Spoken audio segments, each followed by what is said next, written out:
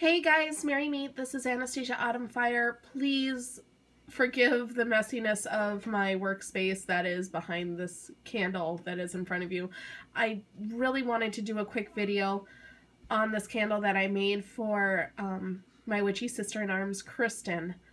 Um, I, I'm obviously late in getting Yule gifts out because I am who I am and things got crazy and I didn't prioritize properly. So I apologize. I know uh, Pretty Alice Moon, Melissa, I need to get your guys' gifts out. I'm so sorry. And I know Pretty Alice Moon, your birthday gift is in it too. So I'm sorry. I'm a terrible pen pal. I know. Um, but today I'm actually exchanging gifts um, with my friend Kristen. And I wanted to get this candle quickly made up for her um, she is uh she works a lot with the goddess Ceridwen. I don't know if she's taken her as her matron.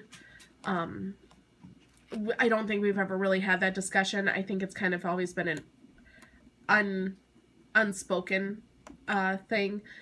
So I wanted to make her a, a Ceridwen honoring set. So I made, um, first I made a witchy orb of sorts because they were all out of orbs at Michael's. Um, it turned out a little messy, but I really liked it. Um, and I think she will too. She usually likes, even though things look a little craziness, she usually likes things that look kind of uh, dark and otherworldly, and I kind of liked how that turned out. So that is her witchy orb. It says Ceridwen on the front, in uh, which is alphabet. Then on back, I have a Ceridwen chant. Sell mother Ceridwen, old mother let us in. Fur and feather, scale and skin. Old mother let us in.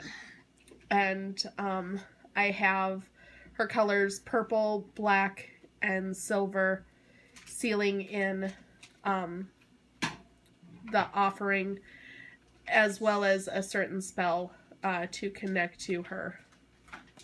And then I made this candle and I absolutely adore this candle. I don't necessarily know why. Um, I really got in the zone with this and connected with this. I found um, an invocation for Ceridwen, and you can kind of see the words on the candle. Um, so I wrote, and it fit just perfectly on the candle too, so I got super excited about that. So I went and scrolled that all up on the candle. And then um, I took some of the offering uh, mix that I had. This is what's left of it, um, which I'm going to put into an incense uh, jar for her.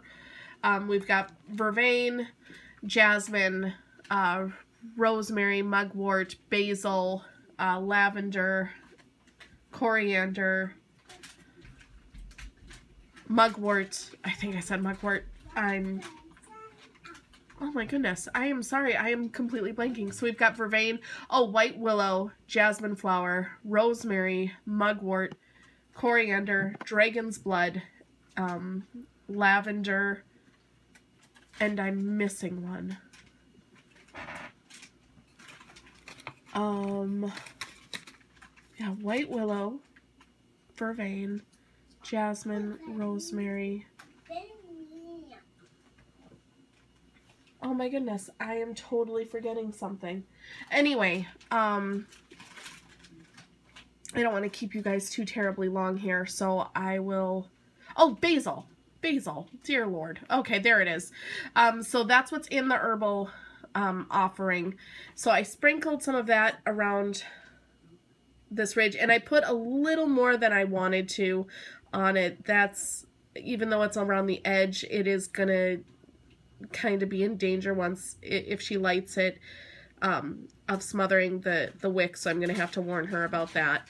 But then I secured that with those three color waxes. I used purple, white, and silver. And again, black, silver, purple, and I believe white are her colors, um, which also is a huge connection to my friend Kristen. So the first uh, candle that I used to seal the wax. I used this. It might not look like much, but it actually is my full moon protection candle. Um, so it's been dressed with protection oil. It's been the candle I kind of go to during my full moon spots. And um, I thought, and, and I really don't use it for this kind of work, but considering what kind of a craft it is and how close I felt to it, I did want to give that extra oomph, um, both with lunar energy, but also with that protection.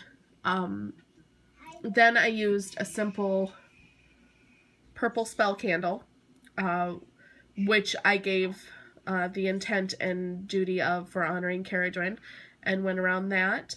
And then um, I don't have a little nub of it anymore, my um, silver sealing wax on top to seal in everything. So we've got lunar energy with protection as the foundation of the spell and the candle. Um, well, really, we've got the binding element with the black candle. Then we've got the protection of the white and lunar energy of the white.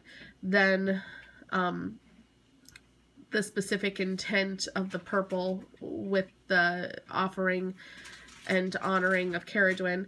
And then on top, I, I find putting sealing wax on top kind of works as a sealing agent for the the spell as well.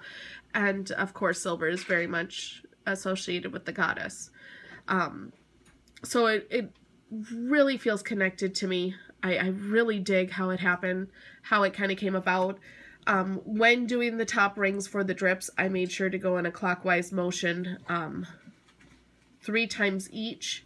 So again, we've got the symbolic number of nine um, connected to the candle as well. I'm going to put um, three stones on the top, moonstone, amethyst, and onyx. All three of those are stones I believe that are, I know amethyst, moonstone is tied to Ceridwen. Um, amethyst is connected to um, amethyst is connected to uh, my friend Kristen very much. Um, I believe it's her birthstone, but also just smoky quartz, amethyst are usually her two stones that she just feels super drawn to. And then onyx very much uh, about grounding and, and kind of building upon that foundation, which I, I like doing with, with spiritual works like this. So yeah, I just wanted to share this Ceridwen honoring candle that will be a Yule gift for my friend Kristen.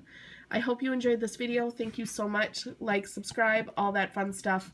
Um, now that the holidays are finally done and craziness can kind of subside, I'm very excited to get back to making some more videos and getting my focus back where it needs to be. So I hope you guys have stuck around. Thank you. And have a great day. Bye, guys.